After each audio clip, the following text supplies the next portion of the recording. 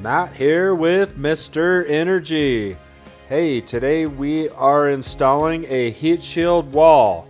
This is a non-combustible heat shield on a combustible wall.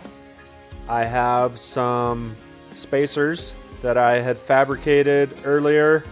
I'm just attaching those to the wall to give us the space we require the minimum is one inch of airspace, and I'm going about four inches.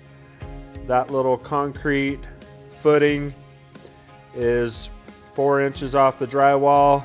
So I'm going a little bit more to allow that air to come up underneath and circulate around the heat shield.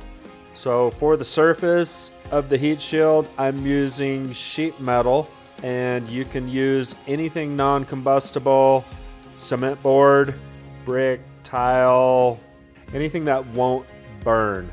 So here's the rule for creating a non-combustible heat shield wall.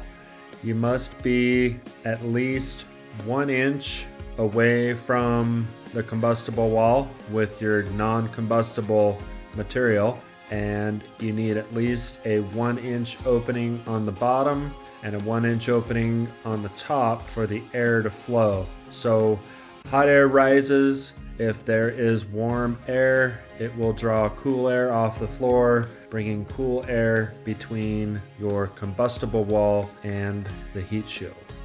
So what this does, it allows your clearances to be reduced by half.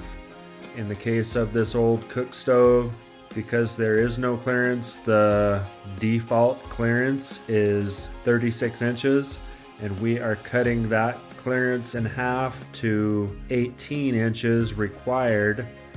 I've got about 19 inches, so I'm more than safe, and I really don't want this old cook stove burning my house down.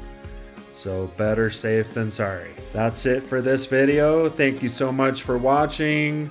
Keep working hard, be creative, and always do your best. See you next time.